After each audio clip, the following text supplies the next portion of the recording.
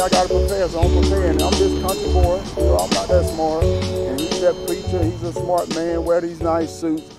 So I'm preparing. I'm this country boy, you know, I'm not that smart.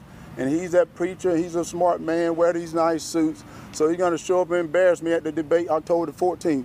And I'm just waiting, you know, I'll show up and I'm gonna do my best. I'm gonna do my best. Herschel Walker is the saddest Senate candidate I've ever seen. He's an unqualified lying buffoon, and he's got a 50 50 chance of winning in Georgia. It's important to vote. You, you know, if you don't vote, we could wind up with a Senator Herschel Walker, okay? Last week, the Republican U.S. Senate candidate from Georgia sent out what might be the saddest tweet in the history of American politics. It's emblematic of a campaign that is among the saddest in political history.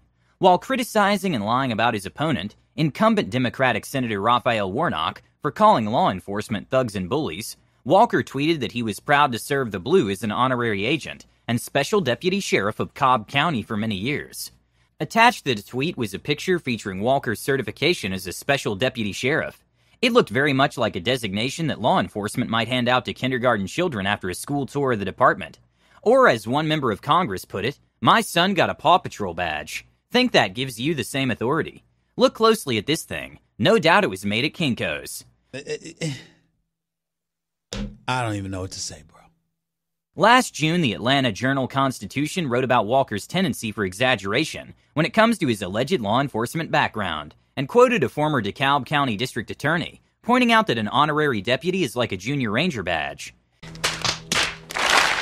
This isn't Walker's first mistruth about his law enforcement background. In 2017, Walker claimed, I've been in criminal justice all my life.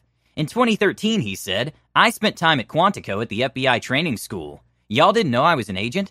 None of these statements are true. Repeatedly, news outlets had pointed out Walker's tendency for exaggeration, and yet that didn't stop him from repeating the lie again and exposing himself to even more ridicule.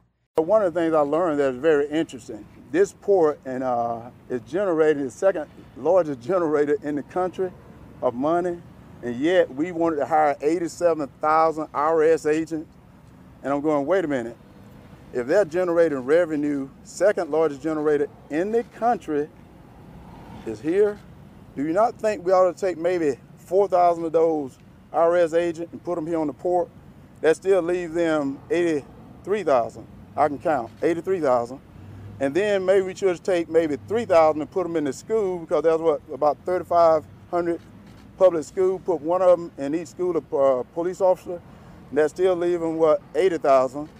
And maybe we should start trying to put resources that to solve problems, rather than things that's going to go after people uh, lower income.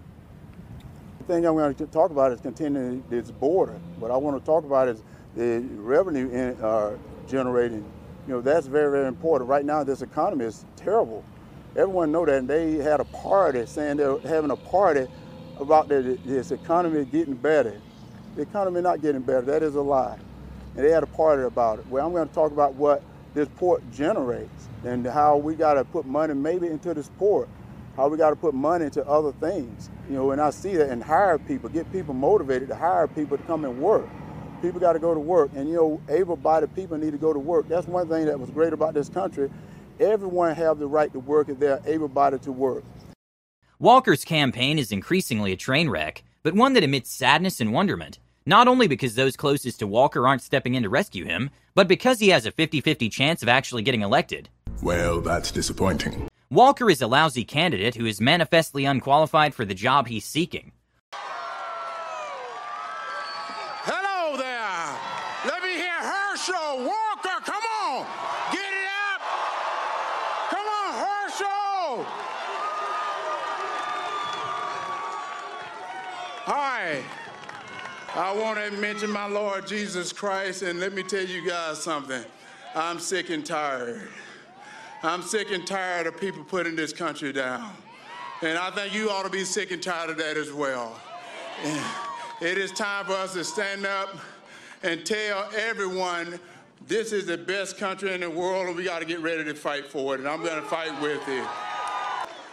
You know, every time I go out to speak, everybody want a sound bite. I'm going to give you a sound bite really quick. You know, I'm a man of God, and I'm going to tell you right now, we got to do what's right. What is right is I've heard it many times that there's peace through strength.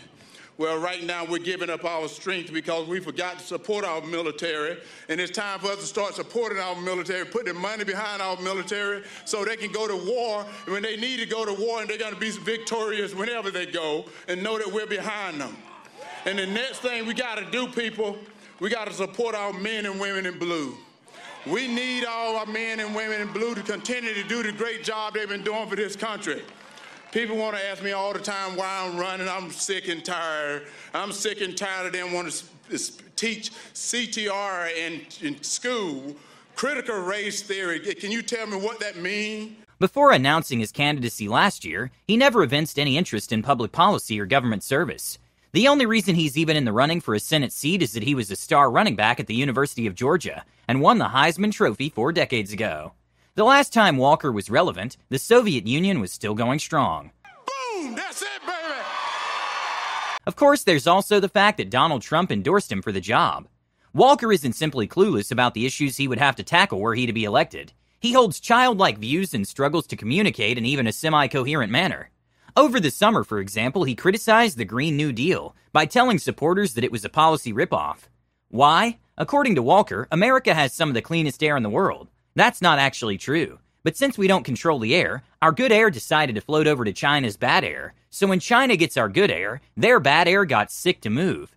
So it moves over to our good airspace. Walker's solution? We gotta clean that back up. Since we don't control the air, our good air decided to float over to China bad air. So when China gets our good air, their bad air gotta move. So it moves over to our good air space. And now we got to clean that back up. This is not how air works. In his public events, Walker either regurgitates the same four or five talking points about the evils of Democrats, or he goes off on often incoherent tangents. This is the saddest Senate candidate ever. I'm not that smart.